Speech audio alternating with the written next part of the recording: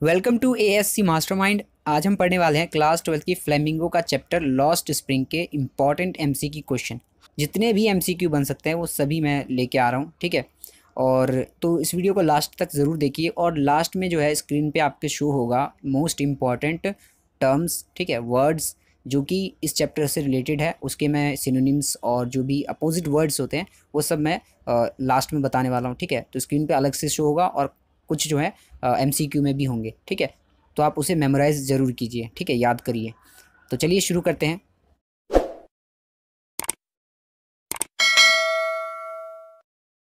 तो देखिए, सबसे पहला क्वेश्चन आपकी स्क्रीन पे है कि who is the author of Lost Spring ठीक है? ऑथर कौन है लॉस्ट स्प्रिंग के? A Louis Fischer B Anees Jung C William Douglas D none of the above तो देखिए, इसका आंसर है लॉस्ट स्प्रिंग को लिखा किसने है? अनीस जंग ने, ठीक है?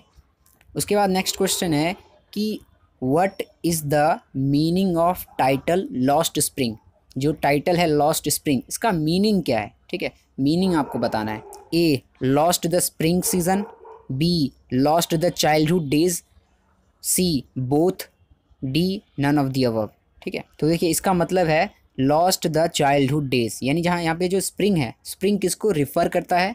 तो चाइल्डहुड डेज़ को, ठीक है? यहाँ पर दो जो कैरेक्टर हैं साहिब आलम और मुकेश, इन दोनों के जो है बचपन को दिखाया गया किस तरह से वो चाइल्ड लेबर करते हैं, ठीक है? चाइल्ड लेबरिंग में लगे होते हैं, जिसकी वजह से क्या होता है अपना बचपन खो देते हैं, ठीक है? एक तरह से बचपन स्प्रिंग सीज़न की तरह होता है उनके लिए, ठीक है? तो इस तरह से यहाँ पर लिखा गया लॉस्ट स्प्रिंग यानी वो अपना बचपन एक तरह से खो रहे हैं, इसीलिए लिखा lost the childhood days okay next question है कि what is the meaning of Sahib Alam, ठीक है? जो साहिब आलम है, ठीक है? Very important question Sahib Alam जो नाम है, इसका मीनिंग क्या है?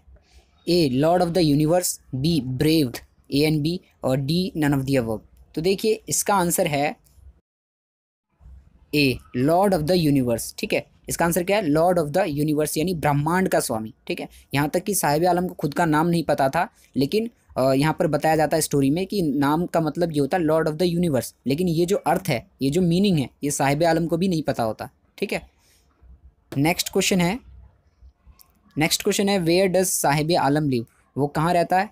ए फिरोज़ाबाद में बी मुरादाबाद में सी सीमापुरी में, या D none of the above तो देखिए, इसका आंसर है सी सीमापुरी में वो रहता है, ठीक है? नेक्स्ट क्वेश्चन है कि I have nothing else to do he mutter looking away what is the meaning of mutter here तो देखिए कि यहाँ पर मटर का मतलब है A whisper B give answer D to avoid C all of the above तो देखिए, मटर का मतलब है यहाँ पर विस्पर ठीक है? जब हम क्या करते हैं खुशफुसाहट करते हैं, ठीक है? या आंसर जो है बहुत धीरे धीरे देते हैं, ठीक है? बहुत लो आवाज़ में जब हम कुछ किसी से बात कर रहे होते हैं तो वो विस्पर होता है, ठीक है? तो इसका आंसर है विस्पर यानी कि जब पूछा गया उससे तो इसने अनीस जंग ने, साहिब आलम ने कहा I have nothing else to do he mutter ठीक है? तो उसने क्या किया? विस्पर यानी कि बहुत धीमी आवाज़ में ये बात कही, ठीक है? तो इसलिए यहाँ पर विस्पर यूज़ हुआ है। उसके बाद नेक्स्ट क्वेश्चन है कि Sahib and his family settled in Seemapuri, ठीक है? Sahib and his family settled in Seemapuri where did they come from यानी कि यहाँ पर कहा गया कि साहिब आलम और उसकी फैमिली जो है सीमापुरी में सेटल हो गई, लेकिन वो आए कहाँ से थे? ठीक है, आए कहाँ से थे? A Colombo B Dhaka C Kathmandu D none of the above तो अगर आप इसका आंसर जानते हैं कि साहिब और उसकी जो फैमिली है या अदर लोग जो भी रैक पिकर्स थे, वो कहाँ से आए थे? तो इसका आंसर आप मुझे कमेंट में ज़रूर बताएँ, ठीक है? अगर आपको आंसर आता है तो कमेंट करके ज़रूर बताएँ, ठीक है? आगे बढ़ते हैं। नेक्स्ट क्वेश्चन है कि how many rag pickers were living in Seemapuri यानी कि सीमापुरी में कितने रैग पिकर्स रहते थे, ठीक है? जो रैग पिकिंग का काम करते थे, कितने लोग थे? A twelve thousand B six thousand C ten thousand D five thousand तो देखिए इसका आंसर है C ten thousand rag pickers रहते थे सीमापुरी में, ठीक है? नेक्स्ट क्वेश्चन है कि what is the similar meaning of looking for ठीक है? लुकिंग फोर का एक और सिमिलर मीनिंग इनमें से कोई एक है। ठीक है? सेम मीनिंग है। तो वो कौन सा वर्ड है? A search B examine C stare D all of the above तो देखिए, इसका आंसर है ए सर्च ठीक है? लुकिंग फोर का मतलब होता है ढूंढना। ठीक है? तो इसमें क्या था कि साहिब आलम जो है, वो क्या ढूंढता था? तो वो जो है हीप ऑफ़ गार्बेज ठीक है गार्बेज का ढेर वगैरह ढूंढता रहता था, ठीक है? तो वो क्या है? एक तरह से हम लिख सकते हैं कि वो सर्च कर रहा था, ठीक है? गार्बेज सर्च कर रहा था तो लुकिंग फॉर भी यूज़ कर सकते हैं, ठीक है? तो आगे बढ़ते हैं नेक्स्ट क्वेश्चन है garbage to them is gold ठीक है? The author said this because मतलब ऑथर ने ऐसा क्यों कहा कि गार्बेज जो है, वो उसके लिए गोल्ड है, ठीक है? रैग पिकर्स के लिए गोल्ड है, ऐसा क्यों कहा? A sometime find gold in it यानी गार्बेज में कभी कभार उन्हें गोल्ड मिल जाता था। B earn livelihood from garbage C both A and B या D none of the above तो देखिए, इसका आंसर है B earn livelihood from the garbage ठीक है? इन्हें गोल्ड इसलिए कहा गया था फिजिकली गोल्ड नहीं था। मतलब एक तरह से बताया जा रहा है कि उनके गोल्ड के बराबर था। ठीक है? कैसे? क्योंकि वो जो है गार्बेज से ही अपना जो है जीवन यापन चलाते थे, अपनी लाइवलीहुड अर्न कर पाते थे, अपनी जीविका अर्न कर पाते थे। ठीक है? तो इसलिए जो गार्बेज है वो गोल्ड के बराबर था उनके लिए। इसलिए ऐसा कहा था ऑथर ने, ठीक है? नेक्स्ट क्वेश्चन है कि where did he get a pair of shoes यानी ही मतलब यहाँ पर उसको रिफ़र करता है साहिब आलम को। तो साहिब आलम जो है, उसको शूज़ कहाँ मिलते हैं? वेयर डिड ही गेट ठीक है? From heap of garbage B mom gifted him rich boy discarded that shoes none of the awake तो देखिए, इसका आंसर है C rich boy discarded that shoe यानी कि एक रिच बॉय था, उसने क्या किया? उस शूज़ को फेंक दिया, क्योंकि उसमें होल था। इसलिए वो जो शूज़ हैं, जो जूते हैं, वो किसने ले लिए? साहिब आलम ने, ठीक है? और वो उसके लिए एक सपने जैसा था मतलब एक ऐसा लग रहा था कि उस सपना सच हो गया हो। क्योंकि वो पहले क्या था? बेयर फुटेड यानी नंगे पाँव घूमता था, ठीक है? तो अब उसे जो है जूता मिल गया था, ठीक है? तो वो बहुत खुश था। अब आगे देखते हैं।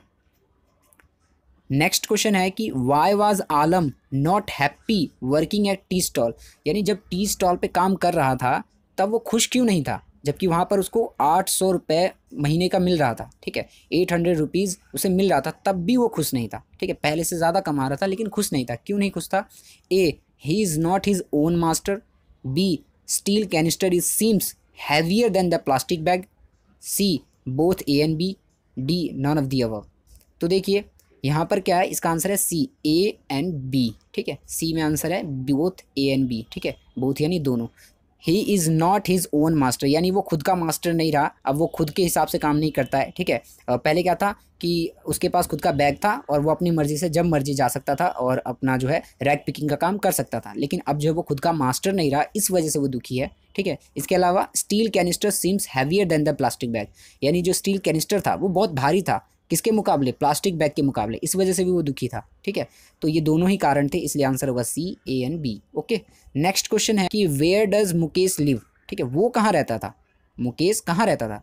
A Seemapuri B Ghaziabad C Firozabad D none of the above तो इसका आंसर है सी फिरोज़ाबाद, ठीक है? नेक्स्ट क्वेश्चन है कि what was the dream of Mukesh यानी कि मुकेश का सपना क्या था? क्या ड्रीम था उसका? ठीक है? वो क्या बनना चाहता था? A become a motor mechanic B become a businessman C become a police officer या C all of the above तो देखिए, मुकेश क्या बनना चाहता था? A become a motor mechanic वो मोटर मकैनिक बनना चाहता था, ठीक है? उसका सपना क्या था? एक मोटर मकैनिक बनने का, ओके? नेक्स्ट क्वेश्चन है कि what was the similar situation between Sahib Alam and the Mukesh, ठीक है? मुकेश और साहिब आलम के बीच में सिमिलर सिचुएशन क्या थी? उन दोनों के बीच में सिमिलैरिटी क्या थी? ठीक है। A lost spring B poverty stricken C child labour D all of the above ठीक है।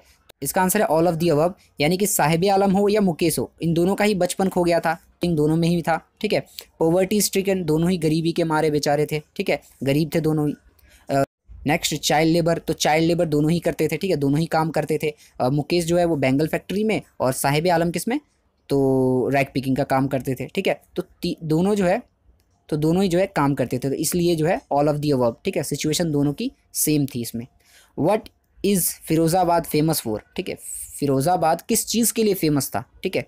What is Firozabad famous for A motor mechanic toys bangles all of the above Firozabad famous था bangles के लिए, ठीक है? वहाँ bangles बनाए जाते थे। नेक्स्ट क्वेश्चन है कि what is the hazards of working in bangle factory hazards क्या थे? बेंगल फैक्ट्री में काम करने के, ठीक है? यानी बेंगल फैक्ट्री में जब भी काम करते थे, उसके नुकसान क्या थे? खतरे क्या थे? ठीक है?